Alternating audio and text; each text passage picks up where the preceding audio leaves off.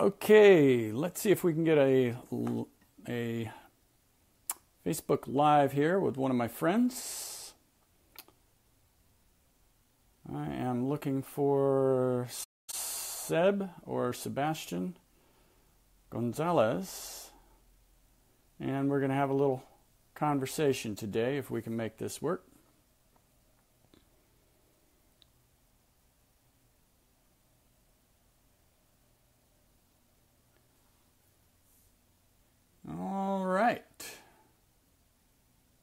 So, looking for you, Seb. There, Seb.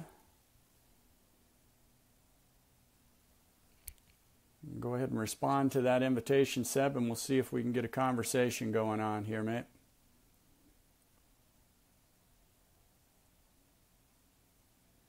And for everybody else there, uh, Sebastian Gonzalez is who we're going to talk with today. He's a podcaster uh, from down in Huntington Beach. I got to meet him this past weekend at the R2P Summit or Symposium in uh, Littleton, Colorado. That's uh, that was hosted by R2P and uh, Marianne Harrington DMAC, and also by uh, the Project Move. Um, Project Move and uh, Stephen Capobianco's uh, work there. Uh, great facility. If you guys get a chance to go there uh, and put something together, then by uh, all means do it. So I think we've got Seb coming in here. Yes, Adam. Are you there, Seb? Okay, is that uh Look at that. it's like happening. Oh my god. It's funny. I can see you actually on both screens right here. Okay, let's see if we can get a split screen. Okay. And uh, I'll set my camera up in a way that we can do that. Maybe in a, I think you have to have your camera set up on this Seb in a horizontal or landscape format. There we go. Okay, let's see if I can.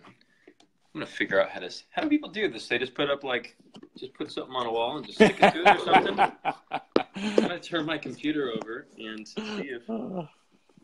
Damn, it's like you got a Jimmy rig this entire setup here.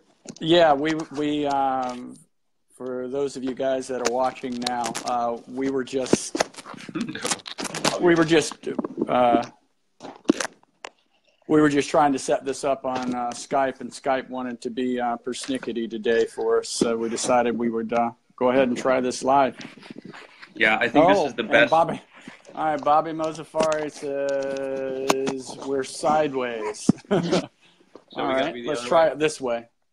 Does that work better, Bobby? Bobby, what's your view on it there, mate?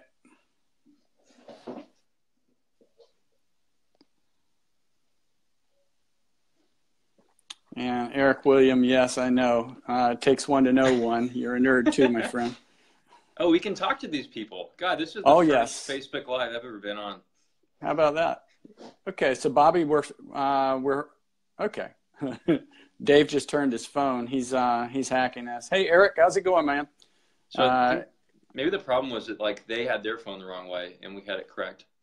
uh, I'm I'm going to lean on that. Are you married, Seb, by any chance? Because that's the strategy I use with my wife all the time. Oh yeah, you're looking at this complete wrong way. yeah, I don't think that really works, does it? yeah, I'm not sure that it does. Yeah. But with your with your wife being the psychologist, I don't know how you can get around any of that stuff. Uh, yeah, I know. The uh, the best we can hope for is that our son is well adjusted. yeah. so we can. I'm actually recording on my line for the podcast. Uh, okay. We we can get into it whenever you'd like. Um, do you want me to take the? I guess it's your Facebook Live, but I'm leading. No, no, you're you're you're you're the one who uh, who we're talking, uh, who wants to talk here. So let's uh, let's talk about some stuff, man.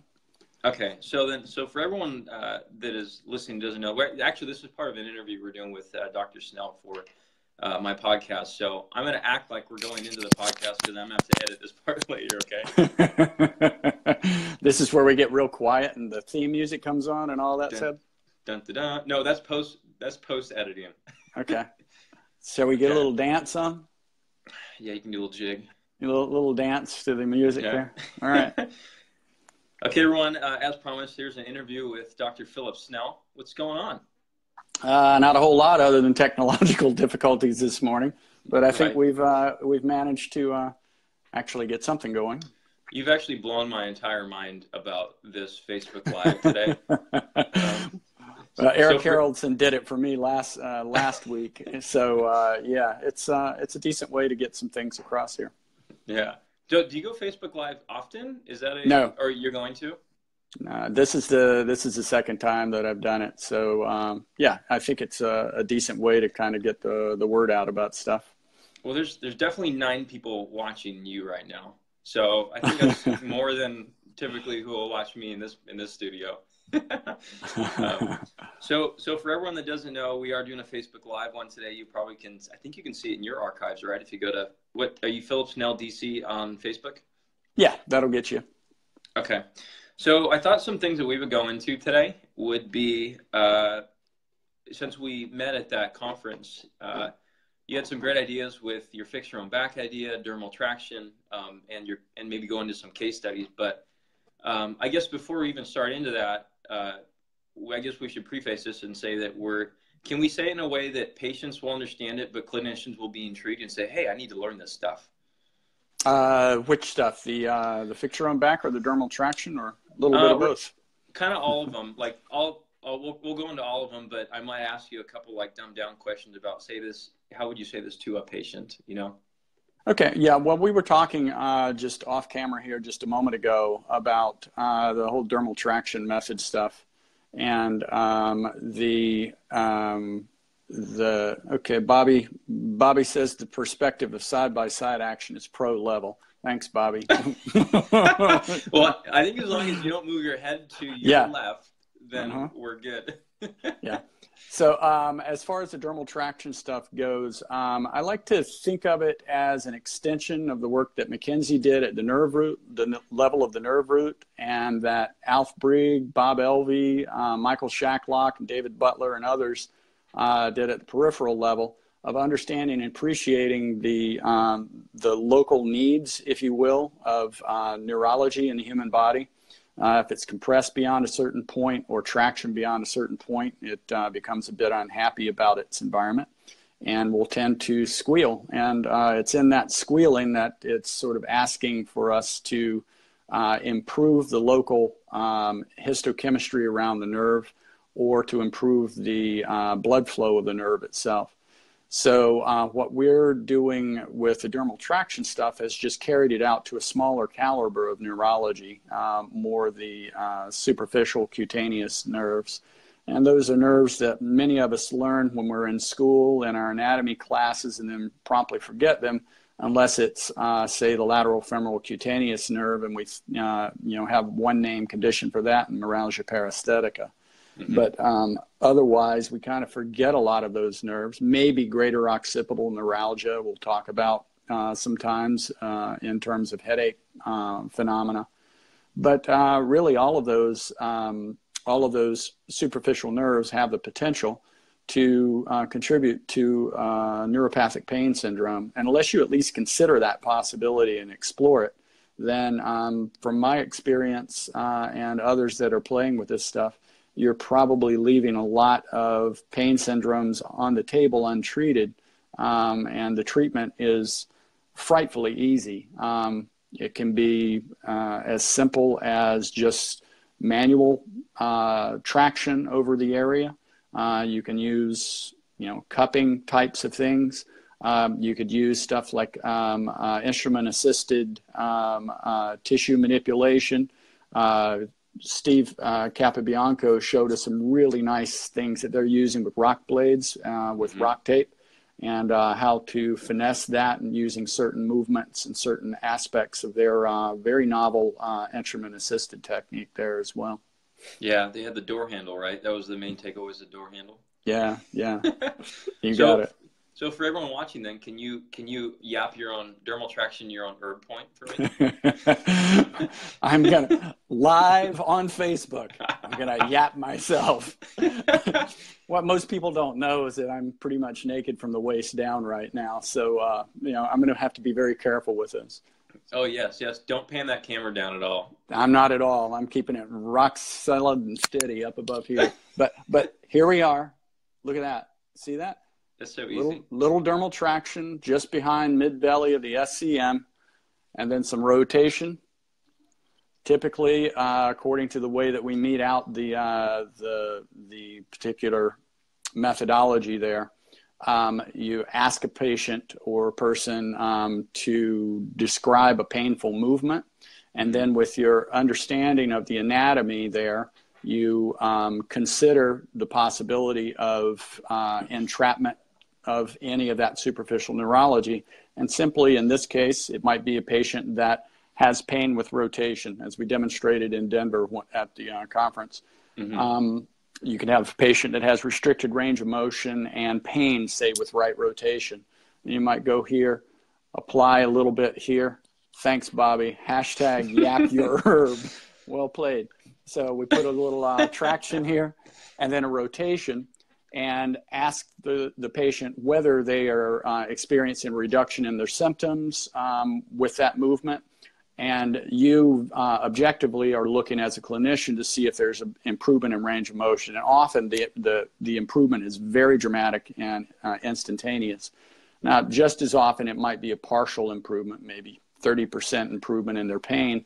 And if so, we'll just have them to do repetitions with it like that, and then take the hand away and have them to repeat the movement and see if their range of motion has improved and their pain has decreased. Um, since uh, with that particular point, Erb's point, we've got um, uh, we've got uh, four particular nerves that go out there that come out from right behind the SCM there. Once the lesser occipital nerve, uh, the greater auricular nerve, transverse cervical nerve, and then my favorite, the uh, supraclavicular nerve that drapes across the whole shoulder, kind of like a shawl.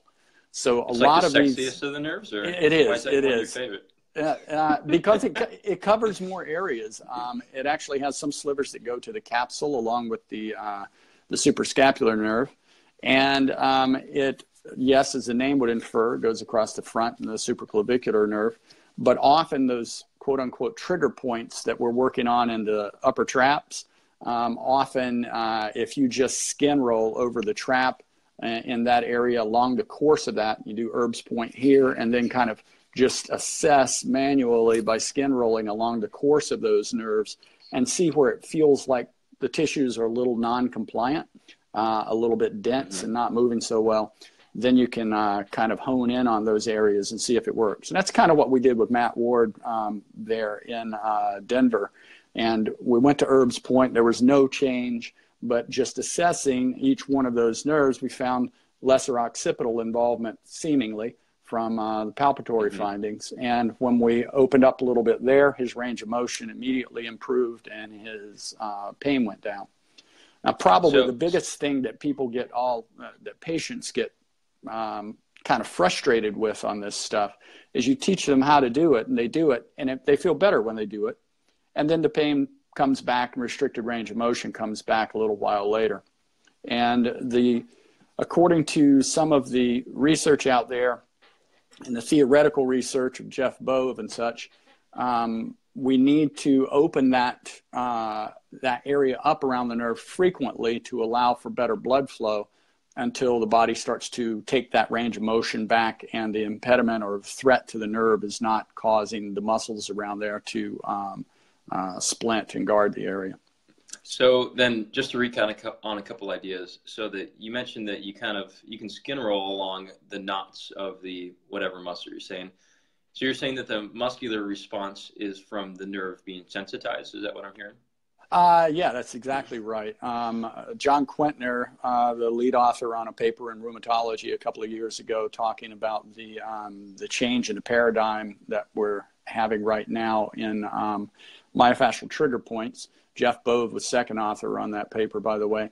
But um, uh, Quintner was a uh, student, I believe, of Bob Elvey in Australia way back in the day. And um, Elvey was fond, I've, so I've been told, fond of saying that um, muscles protect nerves, muscles protect nerves. So when you're looking at clinical pain syndromes and stiffness and tightness of muscle, you know, we're, we're taught readily in school how to assess those tight muscles. But if we don't ask ourselves why they're tight and start looking inside of the, the body's reaction and how it's trying to adapt to, to whatever environment you've placed it in, then um, yeah, we can just start stretching away protective mechanisms and mm-hmm. uh, wind up with pushback. And oftentimes those are the spasms that we deal with when working with muscles. So, so is there a, I know you probably get it a lot. Like people come in and they, they talk about the tightness of their muscles. Is there, when you, when you're doing this dermal traction, just pulling on the skin, is there some type of uh, talk that you usually have to have about their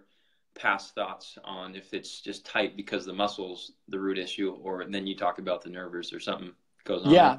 You know one of one of the cool things um, i think about doing this and this is kind of um, playing that balancing act these days with the emerging evidence especially the emerging evidence that is um, that has to do with um, uh, pain neuroscience um, patients come in, maybe they, you know, like I just had one a couple of days ago with pain with rotation, and they their question to me was, um, well, I've had an X-ray of my neck, and it demonstrates that there's osteoarthritis in my neck, and um, I've been to chiropractors before, and they just you know manipulate my neck, and it feels better.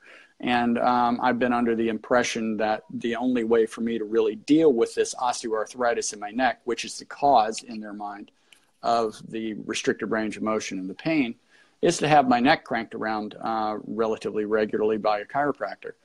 And you can see without saying anything, when you just apply a little bit of pressure or, or tension there over that area, and very quickly have a change in um, symptoms and an improvement in function, you can see the wheels start to grind in that person.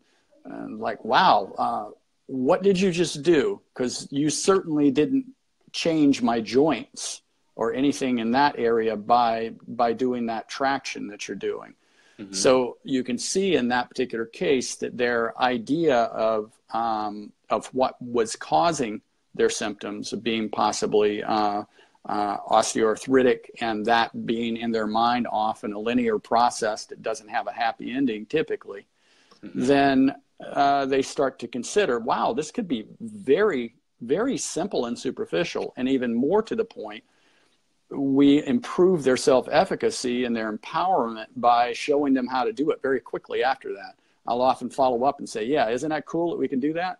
Well, people would talk if I followed you around all day and did this. So I want you to uh, replace my hand with yours and what would they, do it yourself. What would, what would, they say if you did follow them around all day? I'm I'm sure they would uh, they would assume we were doing some kind of uh, internet stunt somewhere, but. Uh...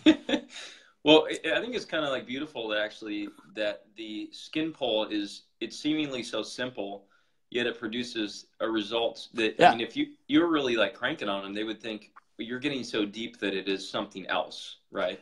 Yeah, exactly. And and also people in the pain neuroscience community might say, well, you're creating a whole bunch of afferent input. My my my traction here and in all of these areas does not have to be noxious, and you can test, do a same uh, an opposite side test as a screen to see if um, uh, if that is uh, are, are, my messages popping up on the screen? Anybody that's on here are you seeing this? You have because, messages? Yeah yeah. I uh, see people of, watching. I saw marianne watching on there. Yeah i did. I did too. And i see alan jinks over in uh, the uh, the uh, in holland has just checked in as well. Hey alan i hope your phd work's going well. Um, yeah, most the, active person on here is Bobby, though. Hey, Steven. Yeah, Bob. Bobby always likes to get on here and go with it, man. So Bobby says, so if this is seemingly an issue of afferentation changes to the cutaneous nerves, then would stim TENS be potentially more beneficial while yapping, or uh, DTMing, as we say now, Bobby? Those in the know, right? Um, but uh, yeah, potentially. Um, uh, to to my mind, this is my bias. Um, to my mind, putting more things that I have to do, that I have control over, that the patient is more likely to attribute to the coolness of me in my office, in uh, in up in the forefront. I tend to shy away from that. I want to very quickly, as soon as I do this, and the lights come on, and they think, "Wow, that's magic or that's wizardry or sorcery. I want to disengage that thought pattern as quickly as I can and say, now you put your fingers there and do the same darn thing. And when they see that they can do things, uh, do that stuff themselves just as easily, then they take the reins and now they're the ones that are actually helping themselves. It's really crappy for business, quite handed, quite honestly, because you uh, you don't need to see people as frequently uh, in our work in order to get them better. But uh, as I've told the students that come through our office, you just have to get really good at doing new patient exams because uh, you get a lot of uh, a lot of referrals for that kind of stuff. Yeah, you you had said something interesting at, at the symposium that you would you'll you'd rather leave pain on the table. Well, I, will say that it's sometimes I will leave pain on the table, um, a little bit of pain in my patients as they walk out that they that they've demonstrated their ability to be able to um, to control. So maybe getting back to Bobby's question, maybe rather than going the extra mile and doing the the tens and the and the heat and everything to uh, also do that uh, to help with the condition and completely take away their pain, I might leave them with a little bit of pain that they can then demonstrate to themselves that they can control. That helps to keep them a little more, to my mind, keep them a little bit more accountable and engaged in their own self care rather than saying, "Gosh, I can't wait until next week when I get back." With uh, with uh, with the doc and be able to have him fix me. Uh, I thought the beauty like, with with you working on people though, or working with people, is that they get to see your awesome salmon pants. Ah, you know, but I, I disappointed um, this past weekend, and I've, I've I've gotten a surprising number of uh, disappointing responses to the the stuff that I wasn't wearing. Um, my my uh, we'll call them burnt umber pants, or uh, So um, I, I, I, I shit you not. This just last night, I was complaining to this uh, about this to my wife, somewhat half-heartedly, and she being a uh, take life by the throat kind of person, she goes right on and uh, uh online and found she found some uh, some humdingers. I uh, I will be uh, showing diff- up. Different types of hammer pants. yes, you got it. You got it. Stop hammer time. I, I can't wait. so uh, yeah, I might be I might be breaking some of those out at our uh, next Portland course um, for the clinical companion for Fix Your Own Back in a couple of weeks. It's uh, uh going to be here in Portland. Our third in a well, row sold out show. Oh yeah. Yep. Third in a row. What's the, what's the sellout on that? Uh, it's about 30, uh, 30 people. We put an extra 10 on board for the Seattle course. Hey, Justin, I see you just came online as well. Uh, Dr. Justin Dean is on there. He's the uh, co-creator of the dermal traction movement, uh, also known as YAP, uh, with me as well. So uh, Justin's he, had he missed everything. He, he missed your Erb YAP. Uh, yeah, you, we Justin, we were just we were just Erb yapping. We were just doing it, man. You missed it. By the way, on those videos, since I was going through them, you can see like Justin is just like half smiling. He's like, there was one where there was the peck wiggle like that. Yeah. He's like half smiling, like this looks this looks, looks silly right now. yeah, he was he was he was doing his best to try to to keep a straight game face on all of that, but it didn't it didn't help that uh, we were poking him in the ribs and stuff the entire time, trying to get him to giggle too. Yeah. So then moving into like just the idea of uh, the fix your own back seminar, um, talk about that and actually how you would correlate YAP into that or dermal traction. What should we call her? Should, are you guys going dermal traction? Yeah, we're going DTM, uh, dermal traction uh, method. The reason why we're going that way, quite honestly, I mean, the, the reason why we initially started um, to call it YAP is because we were basically poking fun of the name systems of manual therapy that are out there. You know, everybody knows in order to have a successful manual therapy technique, it has to have an acronym of three letters typically. Some are going rogue these days and using only two. I don't know how they do it, but uh, yeah, we were we were kind of uh, poking fun at that whole process, and um, the the the poking fun has kind of actually hindered people taking it on because they think we're just you know we're just joking here. I mean, honestly, when we initially put the started thinking about putting it together, um, we were going to get people all excited about a thousand dollar weekend course and then for the registration page we were going to rickroll them but um, we decided decided that might be a little bit too rude. So uh, now um, we're uh, we're just doing a um, uh, we're trying to change the name because people uh, legitimately are looking at doing some case studies and such. And I've done some presentations as well in um, in front of uh, a bunch of specialty physicians at Kaiser, and uh, standing in front of 20 MDs and telling them that what you're uh, the reason why they didn't have to put that hip patient uh, into surgery was because you were yanking away their pain. Um, was was a little bit difficult. So I think we just needed to uh, to put a fresher face on it. That's a little more acceptable. An acronym that's more acceptable. I don't know. I, I, I think that I think kind of maybe the reason why, like I always think grassroots, like why did something like get popular as it was? Just the ridiculousness of, of saying you're yanking someone's pain away might just have been the thing that you need to keep. Never it know. might be, you know, for at, at the very least, probably for the uh, the those of those out there, many of them on this particular uh, call as their names I see going across uh, here. Many of them will always have Yap. Yeah. You know, it's it's kind of, it's kind of like it's kind of like when you have a favorite band when you're younger, you know, and then when you get a little older, you're like, yeah, I knew them before they were really big. Right. I, so I, I almost asked you at the symposium, and uh, I asked Cody on the side. Actually, I'm like, I'm like, I want to know the background of why the fist, why the double thunderbolt, and then why the city, and then what drugs were you on where you thought that yeah, all of these parts need to be part of this logo. uh, I can break that down if you want, because I'm, oh, I'm, yeah. I'm big I'm big into symbology and that kind of stuff. But the um, the thing that I uh, was trying to hit with that, and uh, there's been some pushback. Some people think it's too political. Um, uh, you know, I'm I'm in Portland, Oregon, and here in Portland we are uh, uh, a little bit on the the left coast, you might say, right?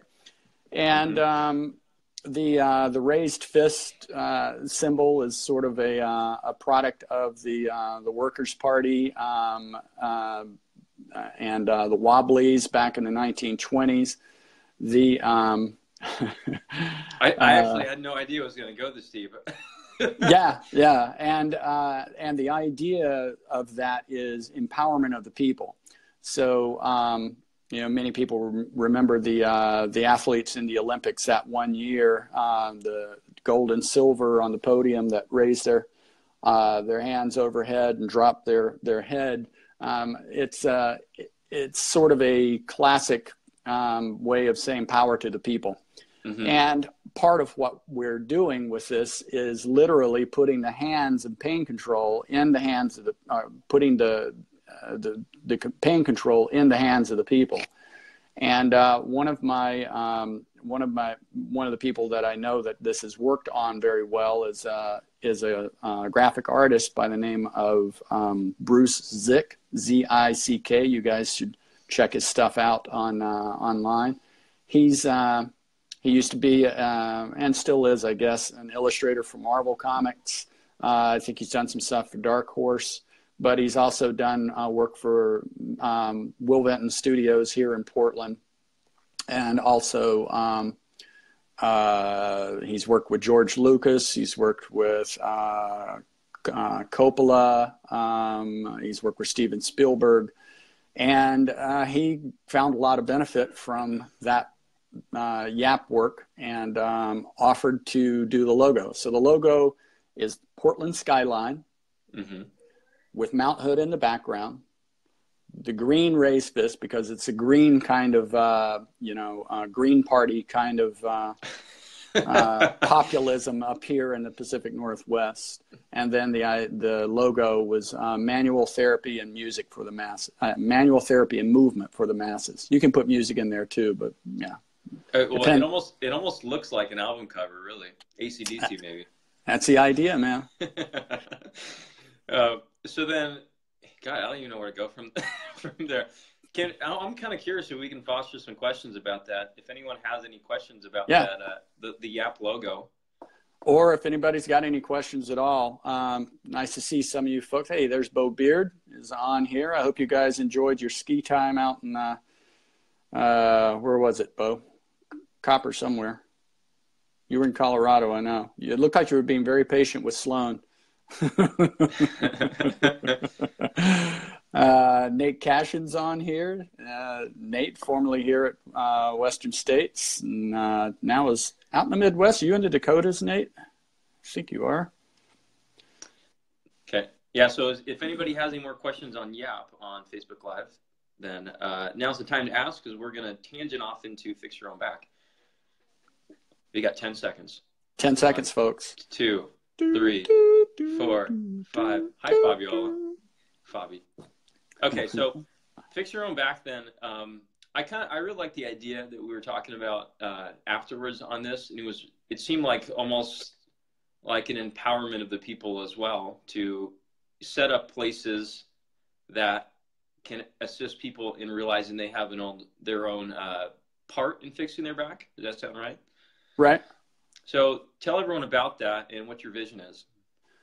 Um, what I would like to see happen at some point um, is we are exploring the concept of taking the methodology we use in, in our clinic um, to address uh, lumbar disc herniation.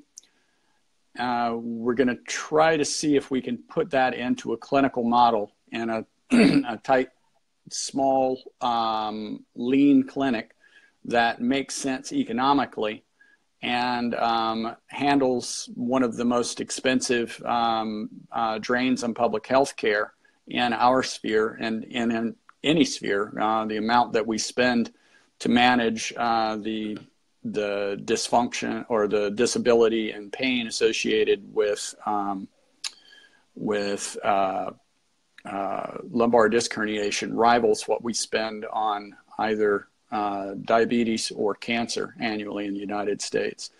So we're looking to take what we've seen uh, successful in the clinical environment, um, which that spawned the online uh, site that I put together called Fix Your Own Back, which was uh, targeting people that have that injury and are trying to make sense out of how to uh, fix it as much as they can themselves and they can do a whole lot for themselves.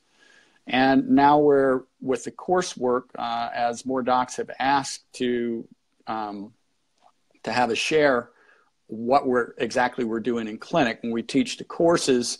As we teach them, we want to create enough people that uh, that are out there that when people contact me on uh, the Fix Your Own Back site online, and they're like, you know, I need a little bit more help than what the site's provided me. I need some hands-on work. I'd like to be able to refer them to people that have been exposed to this type of uh, work so that uh, that can help to improve the, the, the, attendees to the course, improve their um, uh, uh patient recruitment. And uh, ultimately, uh, similar to what you see in other venues out there like Rosti and such, put together something that looks like a, um, a training center here in Portland and have people to come out and train, and then we could take our uh, uh, marketing program into their community, license the, uh, their clinic as a fix your own back clinic, and then go and help them um, reach out and liaise with local physicians, uh, MDs, where those patients are, and try to get those patients into their clinic. And try to solve a problem. Uh, it's a public health issue, and this is a way, one more way to lever, leverage technology to try to uh, solve those problems. So then I, I'm I'm trying to think of some questions that some consumers might have. They're like, well, you know, fix your own back thing, but then you're trying to send me to a clinic. Can you elaborate a little bit on that? Uh, well, people, if people are in pain and trying to deal with this, as you well know from your work as well, um, they they are looking for solutions, and there are painfully few, pardon the pun, um, out there for them to manage that. Once you get beyond something that looks like um, McKenzie or MDT kinds of treatment, and then you see people put into the uh, the McKenzie purgatory, and uh, all they get is just repetitive end range loading yeah, lather, rinse, and repeat, and they just do that, and that's the only thing they've got. That nobody really bothers to spend the time to discuss with them the mechanics involved and the actual injury and the power that they have to prevent those uh, injurious movements. So yeah, people will um, um, they're looking for somebody to be able to help them.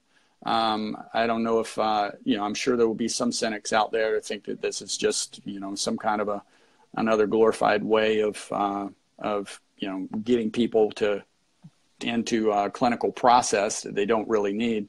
But you know those cynics are going to be around. Um, I think folks folks that know me and folks that know the kind of work that we're doing know that the uh, the root the root at what we're doing here is trying to help um, from a public health standpoint and trying to empower patients. So uh, the ha- haters are always going to be there.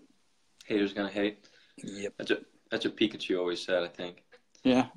Um, yeah. I mean, I, I I agree with that. It's um, it, it's funny actually. I was talking to Cody the other night because I I actually it's funny. I did a I did a podcast on how I had successfully defeated back pain years ago, and then right after that released, I had another an episode. Right, it was years and years later. I didn't knock on wood at that point. It was kind of a pain in the ass, but it wasn't really bad. So I went over to Cody to get an eval after about two weeks because I realized that uh, I was doing a poor job of managing myself, or I was yeah. missing something. Right. So I managed he gave me some recommendations. I managed myself for probably about two, three months now, and now baseball season is here right now, and right. this is going to release later on the podcast. But so I typically play play baseball, and I've been asked like, "Hey, are you going to play this year?" I'm like, uh, "I," and I realized at that point I have fear avoidance, right? Uh-huh. So I'm like, I feel good, but there's another problem here. So me and Cody were having a beer, and I was like, "Look, I I, I want you to manage my case, and I want to go to someone like Brennan." to then apply load because there is that purgatory. And I don't think, I personally think I'm too emotionally close to the injury where I cannot make a solid decision. Yeah. And so when people manage their own back pain, I'm sure they only get so far. They get a success and then they need somebody, right? Uh huh. So, so, so, let, let me ask let me ask you, Seb, in that particular situation, what is it um, when you think about going back and playing baseball? What position did you play? Outfield. So when you think about going back and you think about all the demands of you playing outfield and um, and batting and running the bases, what's the first thing that comes to mind that you're wondering? Yeah, I don't know if I can do that. Well, the first is that I realized that I've spent enough time over the last few months not conditioning myself to play, ah. which is concerning because you just can't go out and sprint. So general physical preparedness was lacking. Okay. Right. Um, and then if I would have thought about it uh, a long time ago, I should have been doing that months ago. Right. right. Um, probably the other thing is, so I've had a past history way back. My first back injury was in high school, um, but it was from an impact at a base. So I'd say a little bit more traumatic. But eight months of rehab and all that kind of jazz, and finally got back. And very first swing, first game, first at bat, it hurt again. Yeah. So the swing. Like, the swing is what would get most people and right. and so i mean for for those in fms world you know that's a probably a rotary stability issue and um, on the the site the fix your own back site itself um, the way the thing is organized and the way that we treat it in clinic is you have an ordered process uh, that you go through and rotary stability uh, is part of the chapter five pro, uh, in the nine chapter program that, that goes along on the fix your own back site and what we teach in the, uh, the courses. So um, before you get to that point, you would have already gotten well to the point where you are in your rehab now, and you would have demonstrated adequate endurance in your core, uh, your core muscles um, per, per uh, McGill's functional capacity evaluation. And uh, then, um, and then the, uh, beyond that, um, you would start to work on mobility in the hips and the upper back. Uh, mm-hmm. another area that would help to play into your uh, to your swing there and making sure the power is coming out of your hips instead of applying power to the lower back while you're in that swing. And mm-hmm. uh, then you'd work on putting those together and using movements that look a lot like you know, chops, swings, Pallofs, and that kind of stuff to really build uh, your ability to manage load in that area. And then once you've got that in that, uh, have achieved some of that in the um, the rehab setting, uh, then you go go out and take a bat and start smacking on a heavy bag. You know, working on your strides and really getting a sense of how to apply load in that way, and doing the same thing with your throws, uh, which is also going to require that same kind of thing. Yeah, and that's definitely. Um, uh, thanks for the advice, by the way.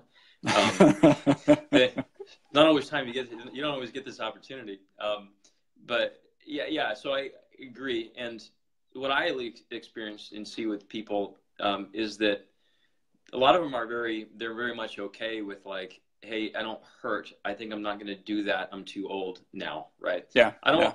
i don't want to feel that. Um, so i think that's why i think a program you're putting together is really good. Um, bobby bobby said eight months of rehab dang it must have been an injury. Um, actually i don't think it was necessarily they actually checked to make sure there was no uh, pars fracture which is a possibility.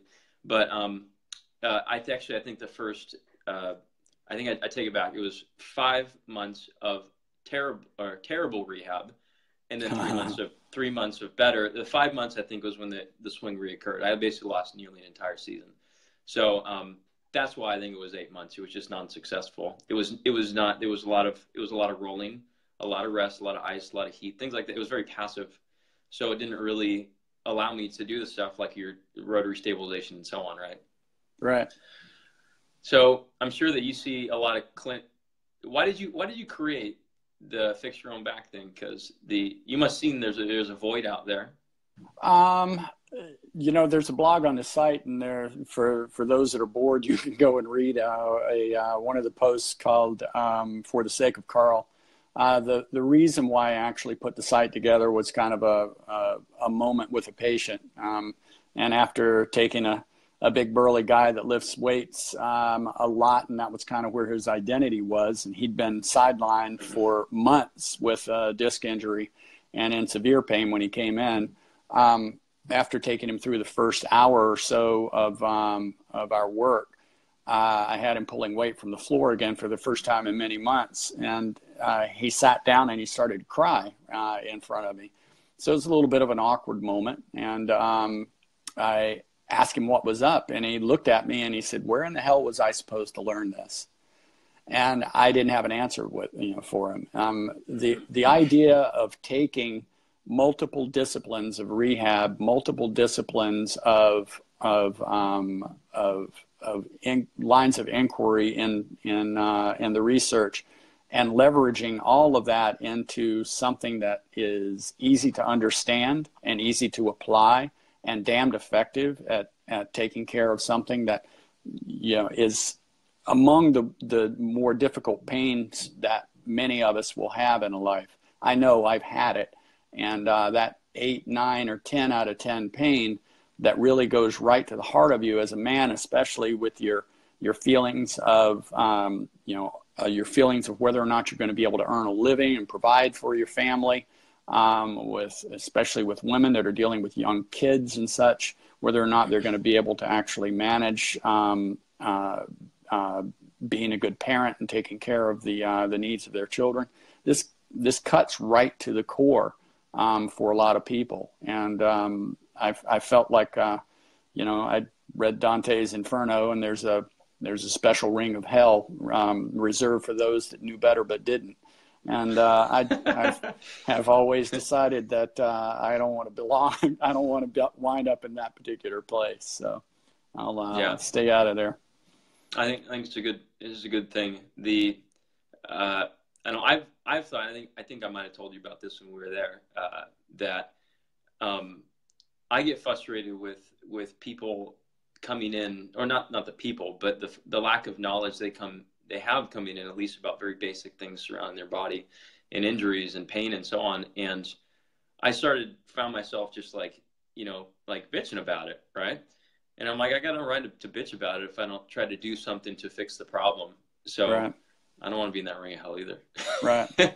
And and for those of you, uh, I'm just noticing here too the different folks that are you know coming and going on all of this.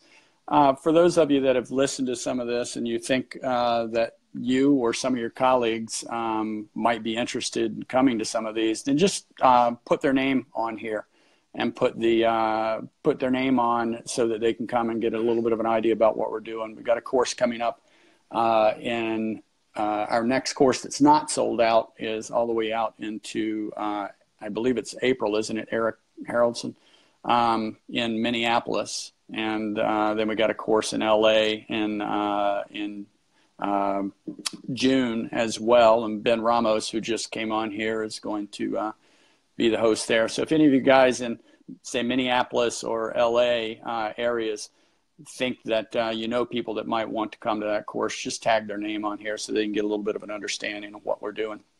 You, you do have a true mastery of Facebook. I would have never thought that. May 5th and 6th, Eric says, for um, uh, um, the course in Minneapolis. That'll be just after my birthday. So we'll, uh, uh, Eric tells me we're going to have some uh, what was it, Eric? We're going to do a uh, a tri-tip, or was it a brisket? I think it was a brisket and some homebrew.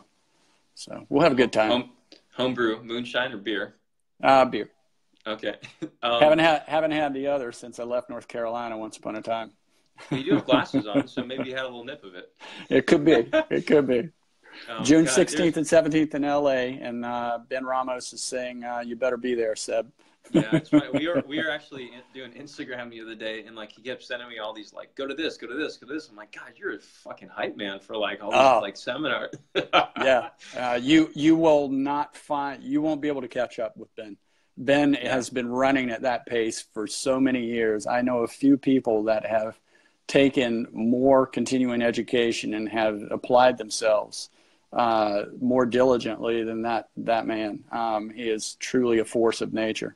And mm-hmm. uh, anybody down the San Diego area that needs some help, check out Flow Force Rehab and uh, Dr. Ben Ramos. He is uh, it's Ramos, not Ramos. I'm going um, with Ramos. I don't think he, he doesn't deserve the right to have the correct name. Kind of like Tesla's. I call them Tulsas, honestly. He deserve the right. um, oh, so because this podcast is going to come out later than I think May, where would people find the uh, next seminars if they're hearing it on there? Because I'm sure you're going to add them to, to a site, right? Yeah, if you go to uh, fixyourownback.com, at the top of the page, there's a, uh, a heading tab for uh, clinical courses, and we try to keep that updated as well. Uh, at this point, we've got um, the next course in Portland, which is sold out, the next course in Seattle, which is sold out uh, after that. Uh, then we've got Minneapolis uh, in May, uh, LA in June. Um, we're looking right now about the possibility of putting a course on in July in New York, upstate New York, in Albany. Um, we're uh, out in August, so I can take a little rest. And then in uh, September, we come to Vancouver, BC. Um, then in November, we're looking at going into the Great White. We've got uh, Toronto, and uh, we're putting Winnipeg on the books now in November as well. Nice. Um, look, look, at Ramos down there. Ramos. so, for everyone on the podcast, uh, uh, Ben's a huge hype man. Um, and so, if you want a huge student discount for that course, it is flowforcerehab.com slash forward slash Dr.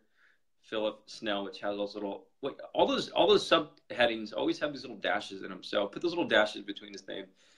Um, yeah, huge hype man there. Yeah, he's he's a master. Yeah. Um, so for everyone that's uh, at least watching on Facebook Live, or we're going to foster some questions here. Uh, we've spoken about dermal traction. We've spoken about fix your own back. Is there anything that you actually want to hear Dr. Snell speak about in those realms? Or is there anything that you really want to ask him but didn't want to ask him to his face? yeah, you want to hide behind your computer, man.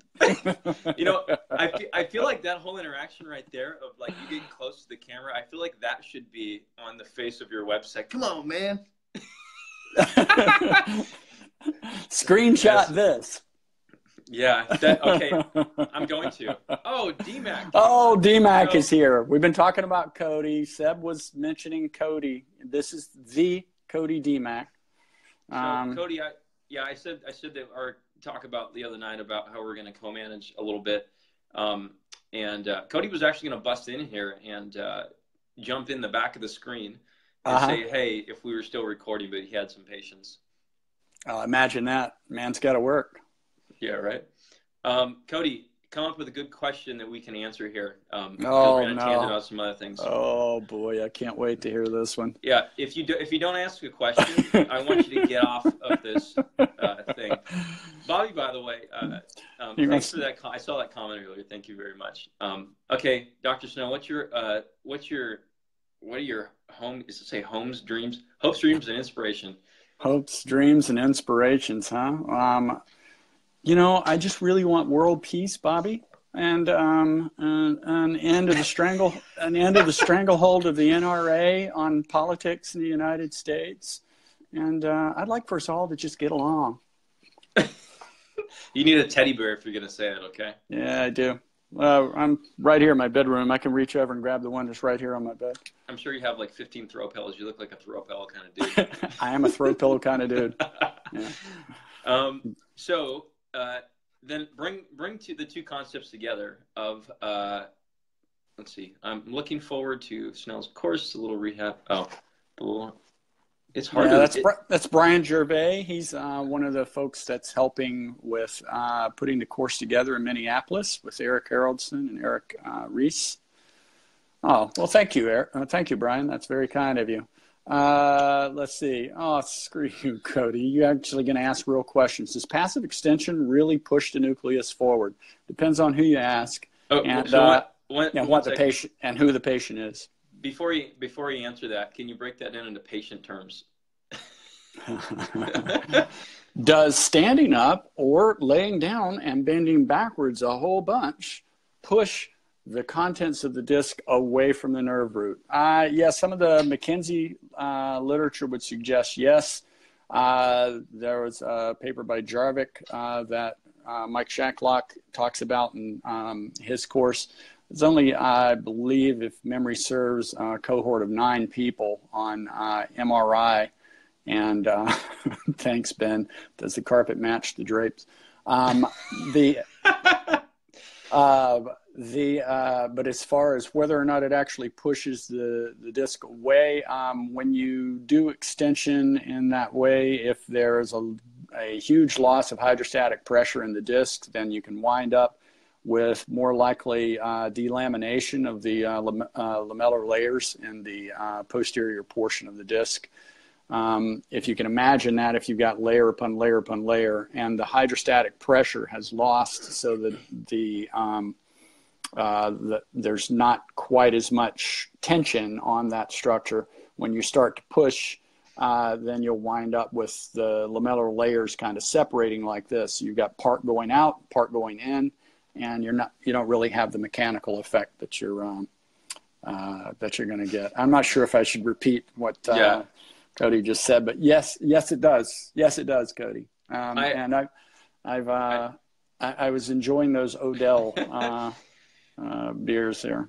I, I got to say, as our first Facebook Live, or at least my Facebook Live podcast, um, I, I admire your dedication to not being distracted by these uh, things flying across the screen and all these random questions. yeah, my, my my focus game is strong. Tom Lotus uh, joined on here. Tom, uh, great to see you here. Um, this guy is doing some truly remarkable stuff with the uh, the folks at Research Institute in Chicago, with um, uh, Annie O'Sullivan and those those folks with the um, uh, pain classification. Uh, I really like what it is. For those of you that haven't uh, taken in a World of Hurt course or read the book World of Hurt, you really ought to check that out. Uh, Brian Gervais has just had a new patient leave. His right leg was a mess. He had a prostate removed three days ago from his leg, Brian. Um, legs were in stirrups and caused significant pain. Uh, Zero. Zero huh? to five hip flexion, could not lift, only drag. Oh boy, any tips would be helpful. Uh, Brian, that's a little more complicated, and we're going to get in a Facebook uh, uh, Facebook Live there. We'll have to uh, maybe PM that a little bit later. Let's um, can can we go over a, a typical case then that you think that you would take through since we talked about dermal traction, we've talked about fix your own back. Um, what is what's a typical type of presentation you think would be awesome for this whole progress? Um, the I'm, I'm hemming and hawing because I got to be a little bit careful here because we had a um, um, baseball player in the clinic uh, a few weeks ago, and um, I think I talked about this in at least one of the, the sessions that we had at uh, in Denver. But um, one of my uh, associates, uh, Dr. Um, Co- uh, Corey Peterson, who's absolutely fabulous doc, uh, uh, works right there with me in the office in Portland. Um, Corey saw this guy, and he'd been dealing with lower back pain and some radiating pain into his leg for um, three months. Uh, the injury came uh, from deadlifting in the gym. Uh, he was a pitcher pulling uh, over 400 from the floor deadlifting. And, um, you know, I've got nothing in the world against deadlifting. It's the, the, the base note of what we do with the Fix Your Own Back program to uh, help people with their, their, uh, their disc injury. But um, he had injured himself with that, was taught uh, was told by his orthopedist, uh, based on an MRI, that the injury to his disc was not significant enough to be causing the symptoms that he was having. So then he was sent to a physical therapist here in town, who um, uh, well-known uh, individual, who, following the doctor's um, uh, notion of what was going on there, decided that Jefferson curls were the things uh, the thing to do with this guy, and he seemed to be getting worse with that, and that's when the uh, uh, he was referred over to our clinic. Kind of, um, we're not in their referral network where he was um, uh, where he was associated with, and his primary symptom um, came on when he was studying when he would be sitting with his legs outstretched in a chair in front of him and he would bend forward to try to touch his foot. And he would get a zing down the back of his leg that was very reproducible there. And those of you that you know understand your orthopedic test it looks a whole lot like a seated slump test right? So uh, it was like shooting fish in a barrel for uh, dr peterson. And he very quickly had him uh, uh in the assessment and had him dialed uh, had his pain gone uh, for the first time in three months in the space of one office visit and then has been progressing him steadily now to through the strengthening program that we use to get him uh, ready for spring ball uh, a little bit better. So um, the other things that we would throw in with that, um, you know, uh, Justin, uh, Dr. Dean uh, put a video up not too long ago. Maybe he'll put it up on his uh, profile page again of working with one of the athletes that we've seen in our clinic a lot, Chris Duffin, and helping to troubleshoot some other things that were going on in Chris after a back injury as well. And uh, Justin found some involvement of the posterior femoral cutaneous nerve that helped to open up his range of motion very quickly when he was using that. So um, again, the uh, the parlor trick of um, the dermal traction method or yapping, uh, as somebody uh, said during the course in Denver, um, you can't overlook the functional causes or the other structural contributors to the pain syndrome that is in front of you. You got to be uh, thorough on all of those fronts. And just because you can make their pain go away a little bit with uh, the dermal traction method, uh, you really probably shouldn't lean on that to be your uh, end all be all. You should be doing other things as well. Mm-hmm. Well, I would imagine then with the so with the dermal traction on uh, on most people, then is it an attempt to get them to number one desensitize the nerve and then also get them to manage their own pain, right? It's not an end all fix. Correct. Um, yeah, I mean, if you think about it, uh, you know, the presence of pain with a movement pattern it's going to cause adaptation. The body's going to move to try to avoid that pain. So you, it gets in the way of the rehab that you're trying to do. Um, so if you can get that pain off of the table relatively quickly so that the patient can move a bit more authentically, if you will, for lack of a better word, then uh, it's a good uh, it's a good place to go, and uh, I think, and um, and and do that to try to get a little better quality movement, and then maybe have the person do that before they do their workouts or their um, their other uh, athletic endeavors to try to get that out of the way.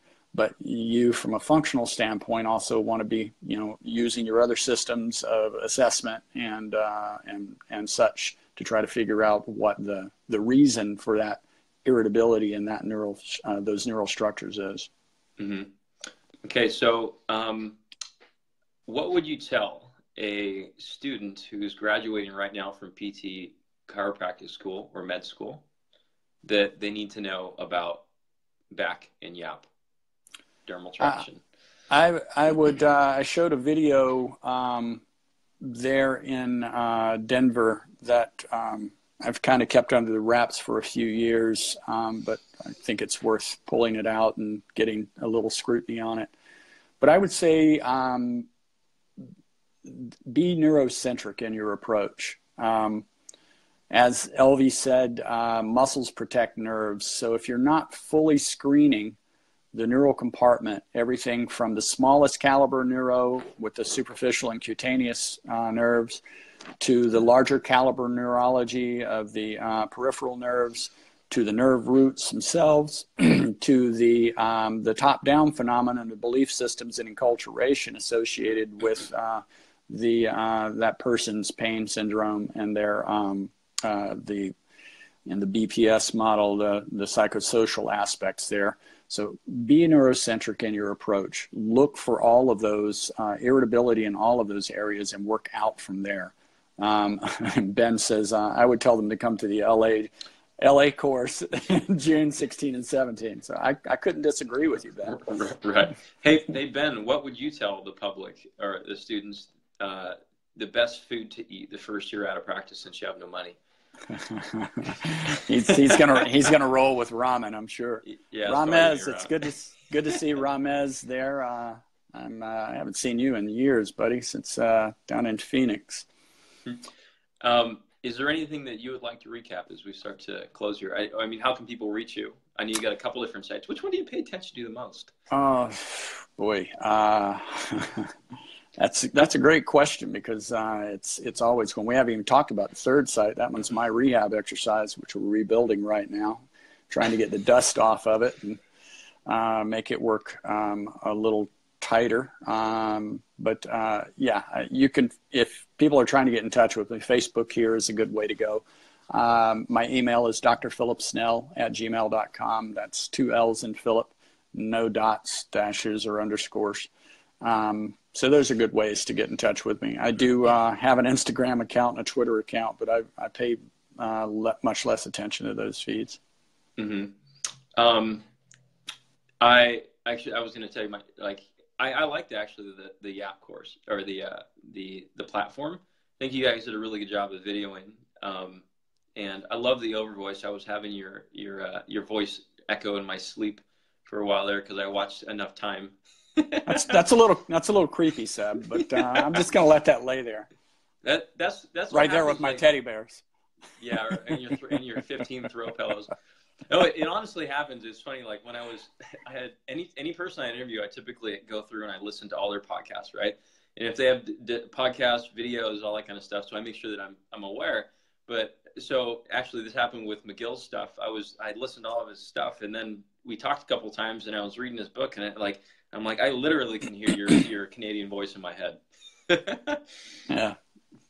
So, um, yeah, I think that's all the questions I have for you. Is there anything okay. else you want to say to people on Facebook Live here before we close it out? Uh, it's just fun. Uh, it's fun to kind of do these uh, these types of thing and um, and see the folks that I've become acquainted with a little bit online and have seen it uh, at other venues and stuff over time, and uh, brings a smile. And uh, nice to see you guys out there doing good stuff in the world. Bobby, uh, Bobby Mozafari, when are you? Uh, where are we going to see you? Which one of these courses? Um, and uh, Will's coming on there at the end. And Will, thanks for your help with uh, my patient that I sent down to you a little while ago. And Bobby, where are we going to see you? Where are you going, Bobby? Bobby, where are you going? But by the way, everybody, if you're if you're looking to listen to this on uh, the actual edited version later, uh, the podcast is Performance Place Sports Care Podcast. You just find it on iTunes and Google Play and all that jazz. And um, just want to make sure you can find all the stuff. We got other good people on there as well. Uh, yank away the flu. you just didn't do it right. Just didn't yeah. do it right, Brandon. Yeah. Come yeah, on, you gotta, Sauce. You got to grab gotta, the tongue. I think I like grab the the uvula. Wait, Yeah. what, what connect? What connects? What neurology connects to the lungs? Don't start with me, man. Right. Um, okay. So um, usually I say stay on the line. We'll talk after, but I don't know how this is going to happen when I shut it down. um, uh, I'll tell you what. I'll close out the podcast here, and then we stay on Facebook Live until we want to close it out. All right. Okay. I close it out. There we go. All right. So the podcast is done. Now we can just talk about, you know, I don't know, beer. Um, we could have talked about that on there as well. yeah. Yeah, there was just too many good stuff. So I want some. I want some. I want Cody to send us some hearts. By the way. Cody, send hearts, please. Yeah. Um, but yeah, I, I think this was really good. I think um, I I was talking to to Ben about about your course uh, in coming in July, so I anticipate making it. Reading all can can hey does this does this save does this video save for people on Facebook Uh, Live? yeah, it'll it'll stay on. Uh, I'm pretty sure it'll stay on my feed. So uh, you know, we could try to do something like. Good grief, lots Yeah. lots of hearts there, buddy. You know, I think actually, I think part of the algorithm for for for social media is the more that people are on it or like it, the more it goes viral. So if we're going to actually get people to to to lear- hear your good news, I think we need everybody right now, all eleven people, to This do, is start- to uh, this is shit start- out of this thing. Yeah, this is starting to sound a little bit like a uh, a Southern revival here. You know, we're gonna have the we're gonna have the call the come to Jesus moment here, and uh, oh, look at this. Ben says yes, it does stay, and you can download it. Oh, imagine all the fun things you could do with this video, people that are watching. Imagine. Oh, yeah, oh god. Think know, of the meme potential, Ben. Oh god. All right. Luckily, like you're you're hiding. I don't know. I don't know how it looks on everyone else's end, but right now you're hiding behind part of my picture, so Ah. he can't get a full facial thing. Uh, Ah, yeah. okay. There we go. That's a little better. What course in July? Uh, tell us about the course in July. Um, we are um, looking at the possibility of putting uh, running one in Albany in July right now. Um, Jason Brown and one of his former associates are uh, exploring that as a possibility, Bobby, but nothing has been uh, nothing's been firmed up yet. Cody, Cody, Cody. hey, hey, Cody, you don't want to speak about that video you sent Ben the other night? I'm sorry. I don't know. Uh, Cody sent Ben a video the other night, which is very similar to what he's posting on here right now. Ah. Um, yeah, I, I as soon as I did that, Bobby, I thought, yeah, somebody's gonna still frame that, and I'm gonna be in trouble. So don't Yes. don't be that guy, Bobby. yeah. Um, just curious because I don't, I don't, I don't know. Have you seen the other side of these Facebook lives? Do you know? Do you know what they're looking at right now? Are we split screen or are we just? Because right now I I'm small, you're I- big. Yeah, what I'm seeing right now is the same thing. I've got full screen and a little uh, inset for you. When I did it with um, Eric Haroldson last week, and maybe if Eric's still on here, maybe he can give us a hand. Um, we were able to get a split screen. Bobby said he was seeing split screen. Yeah. Um, Um, what what are you guys seeing out there? Uh, we're, we're done most we're done with most of the technical stuff probably right now in case you guys do want to tune out. But uh, we need to learn here about how to do this because Yeah, So so if any of you guys are uh, are hip to hip to this new tech, help some old people. we couldn't even Um, get Skype working. Literally, that's why we're on here. Boop, boop, boop, have you have Um, you called the test center before? Like you you you get to hear a robot and you speak to the robot. I have not. No. Yeah, that's how you test your audio. It's a big Yeah. deal. So uh, I say, tell you what, just so that we can troubleshoot while we're uh, on here for your edification for for future ones too, Seb. Why don't we uh, try turning our cameras, our devices sideways? How's that look? Go in landscape. I look. I feel fine about this, but where'd you go? I'm not sure. Am I still I there? think you got your. Uh, no, I think you got your finger over it or something, or maybe you turn the. Oh, there, I see you. No, I Hey, vertical. just tap the tap the screen. Oh, Bobby, you like vertical, right? Hey, Eric, how did we get the split screen last time when we did this, bud? I, uh, you know, there there are programs that allow you to be. Yeah, I've I've seen uh, I've seen Zoom. I haven't tried it, Bobby, but um, there there are programs that you can buy that will help you with with this particular process. But um, but uh, the this is you can do this on an iPhone or or a smartphone if you got two people and just uh, do a Yeah. live broadcast and then invite a person on. You know, I'm I'm kind of curious actually, since there's all these people on here that are watching, and I see Shane on there. Shane's a smart dude. Marianne, Cody, uh, a bunch of people.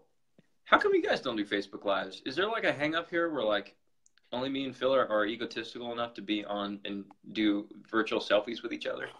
I think you're probably uh, heading onto something there. It's uh, I mean- it's all about the ego, right? Yeah. Well, I I mean, it's I've ta- I've talked to people about like you know like if you wanna if you wanna if you wanna share a message on something, you got to get out there and do it. Um, there, there's gonna be haters, like you said, but uh, I think all the people that that want to practice want everyone to practice like them, or at least you know do a good job. Then I think they should be sharing their sh- their shit, you know. But what's a good So, idea, Ben? What What's a good idea, Ben? What are you talking about?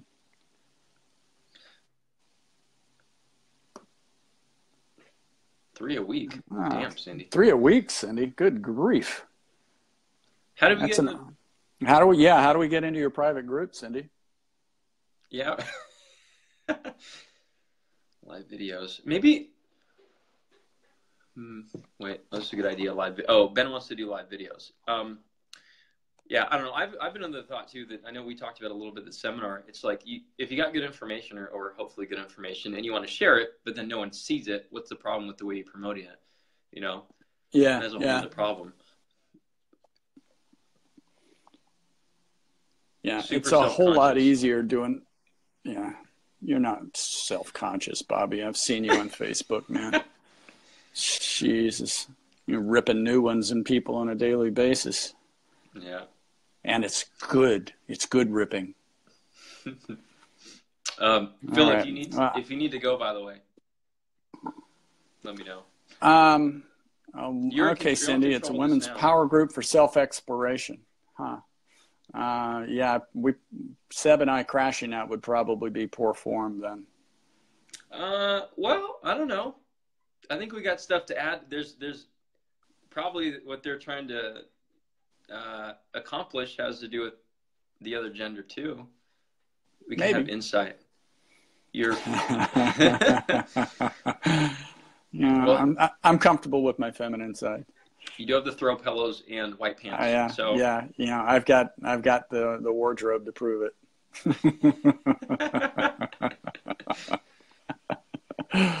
uh, yeah. I, no, no, I think at this point we've uh, probably talked it out, and I've got Yeah. uh, I got to go Yeah. get a workout in. So uh, right on. you know, when we put the uh, we'll put the the bow on this one, Seb. Okay. Um, I will send you the edited version when I have it. I'll just do intro, exit. Uh, if there's anything that you think is relevant for like links or videos or anything that in, that they need to see with it, just send them over to me and I'll include them in the show notes. Sounds good. Cool. All right, it's been a pleasure, my friend. Um, nice to meet somebody new that's of uh, similar mind, and I'm sure our paths will cross again very soon. Yep. I'll see you soon. You just not All right. you won't you won't know when. All right, take care, mate, and uh, all the rest of you guys have a good one. Yeah. Thanks for watching. Go help some. Go help folks.